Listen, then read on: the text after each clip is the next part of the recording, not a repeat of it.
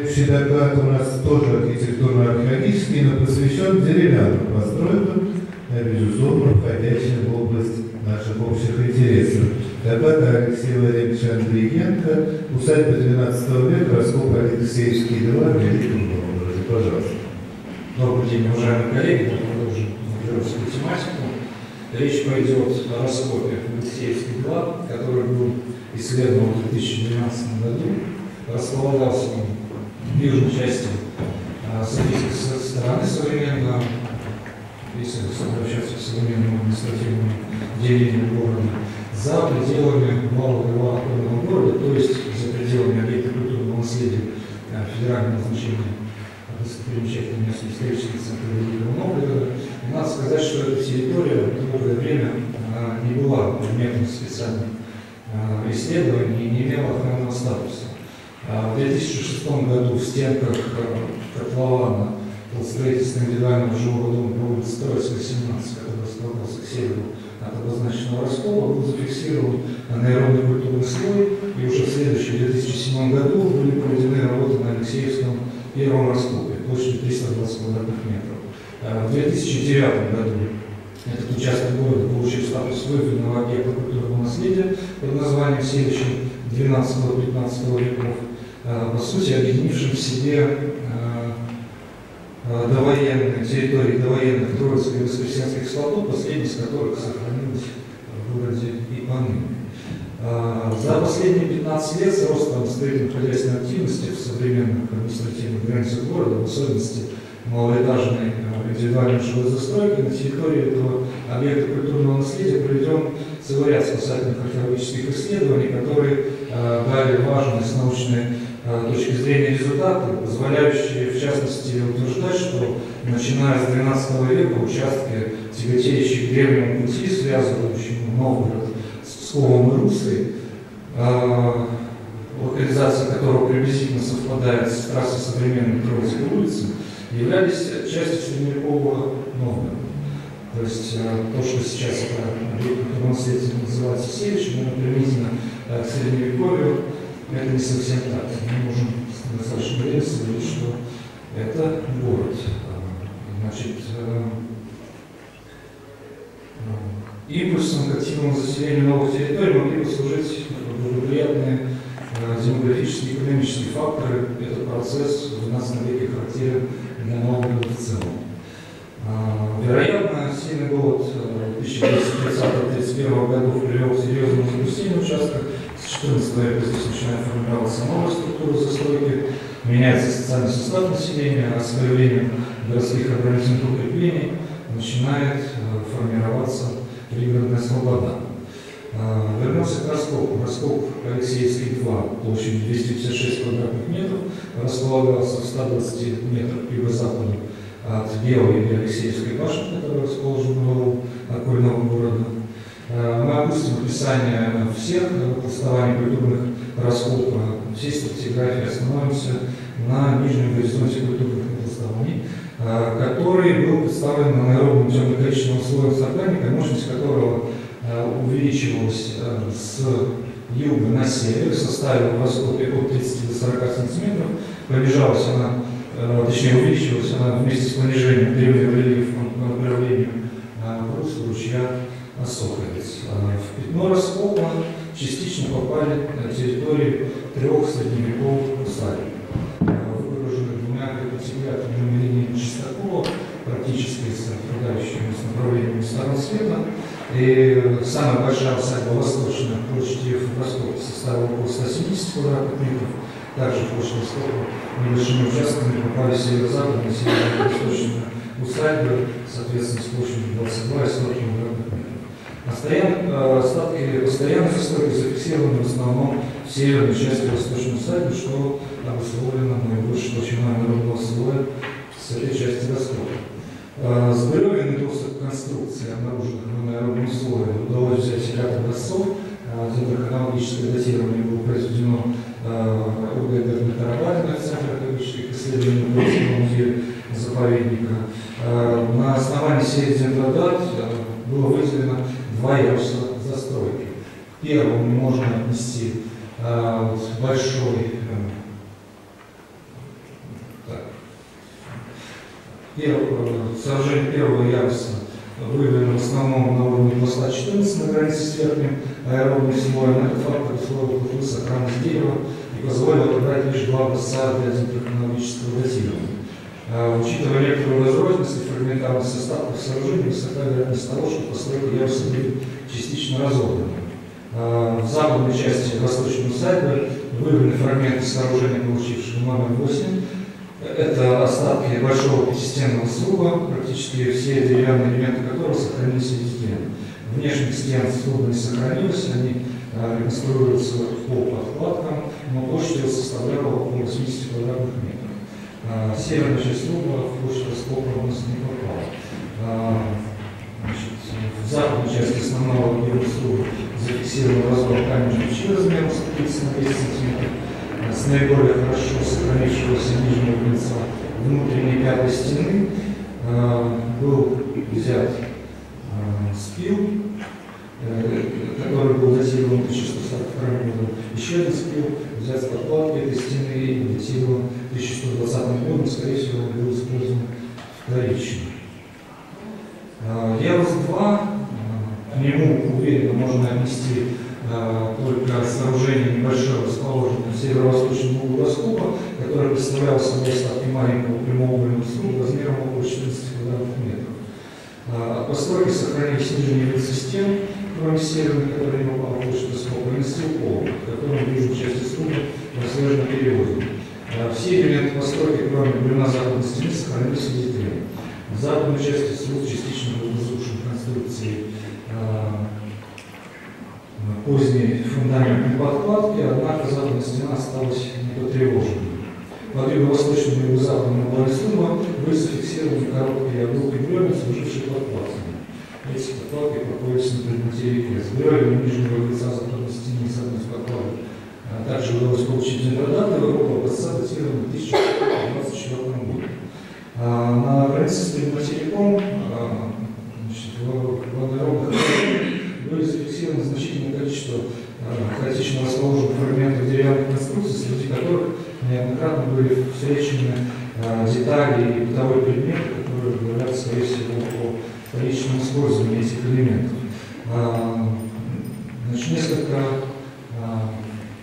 образцов древесин также удалось датировать, и дата располагается в интервале с 1121 по 1126 год, то есть фактически а, одновременно постройки номер 7 небольшой, который указан в предыдущем слайде. Вероятно, в данном случае э, мы имеем дело в обществе с разобранными сооружениями второго яруса, а обществе с доярусной подготовкой, которая была произведена с целью нивелирования территории перед застройкой, так как под застройкой были выведены в материке э, хозяйственные ямы и следы от плетня, которые, собственно, э, являются свидетельством первоначального освоения участка. Вещевая коллекция с территории Восточного сайта насчитывает почти 200 предметов, именно из этого средневекового слоя, ряд из которых говорят отнюдь не об дендробатом, которые говорят отнюдь не о рядовом составе владельцев усадьбы. В числе находок сферистическая коллекция из 12 пломб и мыслевой печати, а, элементы для, предметы для взвешивания, то есть фрагменты весов ювелирных, гирьки, а, предметы личного благочестия, среди которых а, круглые иконки с изображением святого Георгия, различные кресты представленные приветственные фрактионы, среди которых есть и предметы с вымеченными перевороченными эмалями, различные украшения, предметы из стекла, воронковидные такие вот открытые сосуды, бусы. Что интересно, в северной части Восточного было найдено несколько фрагментов э, стеклянных слитков небольших, на одном из которых даже в горизонтальной поверхности э, отпечаталась такая небольшая э, красно-коричневая корка с э, примесью песка, видимо, формовкой горячей стеклянной массы, массы на горизонтальной поверхности. А, предметы вооружения, снаряжение коней всадников, в том числе с э, орнаментацией на стремени.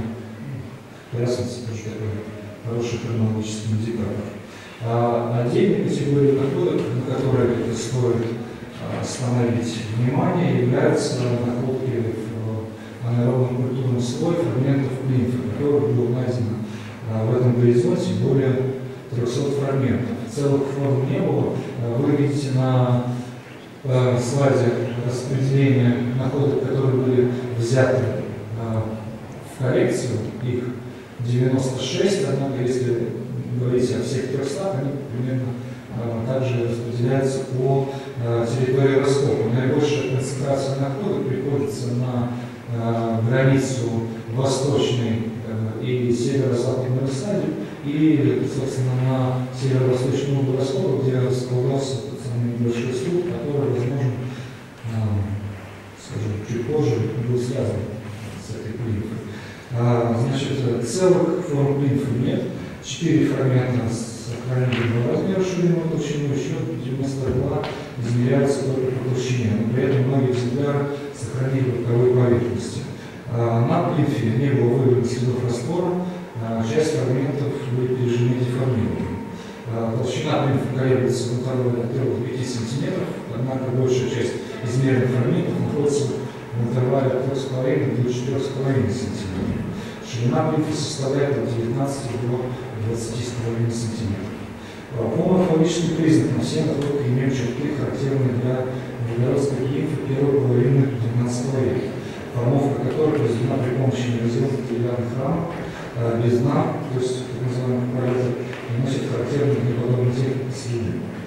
На нижней постели зафиксированы отпечатки в виде мелкого поверхности, на которой происходила формовка. На торцах присутствуют вертикальные следы от снятия формы сердца, подтеки под форму со стороны нижней постели, иногда зафиксированы следы подрезки этих подтеков. Следы слезания, слезания излишка теста на верхней постели и также приподнятости, приподнятости на, на верхней постели вдоль торцов. На некоторых экземплярах верхней постели зафиксированы следы дождя. Со следами дождя. Фактура и цвет теста достаточно вариативны, присутствуют фрагменты как а, с плотным, тесным красного цвета, с острыми краями на сломе и пустотными пузырей воздуха, так и фрагменты с темно-серой сердцевиной разной плотности, и фрагменты с достаточно толстым тестом, оранжевого цвета и более полными краями в местах слома. В центре На плинфе, повторюсь, не было выявлено следов раствора, часть фрагментов пережили и деформированы.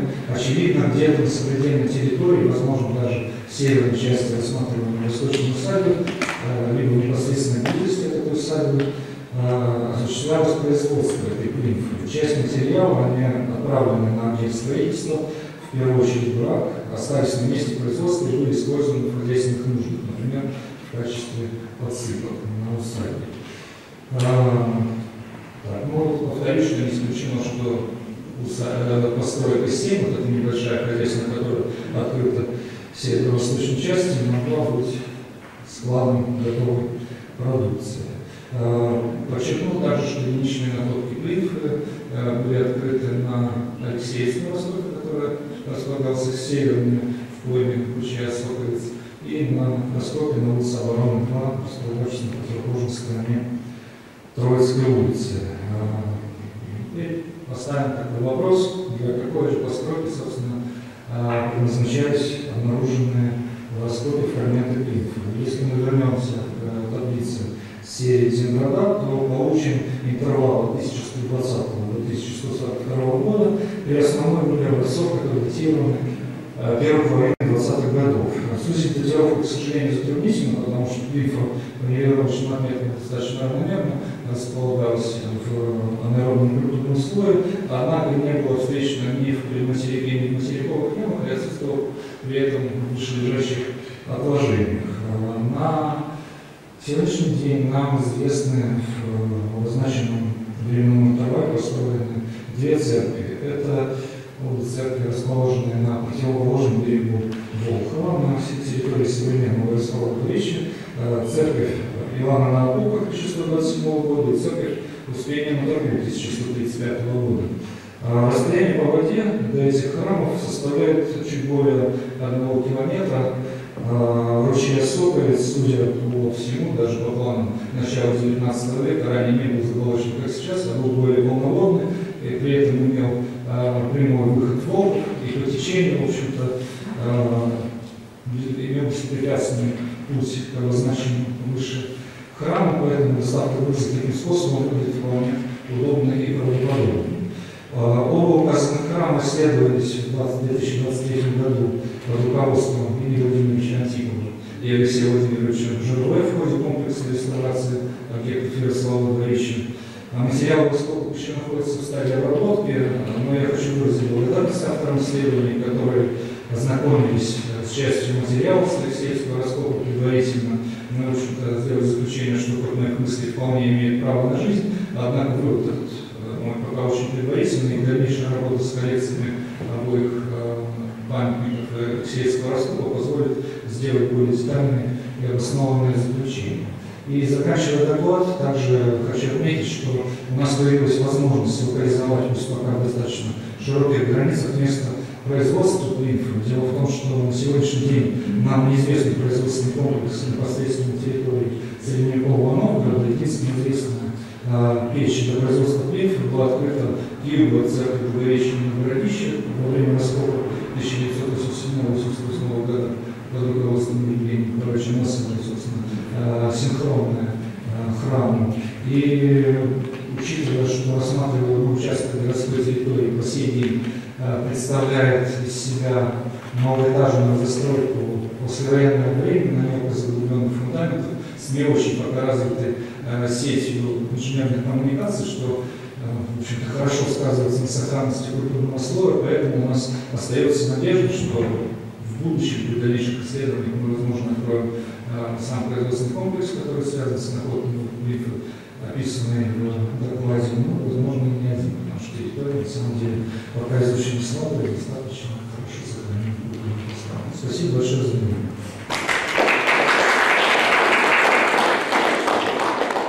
Спасибо большое. Есть ли вопросы к Алексею Владимировичу?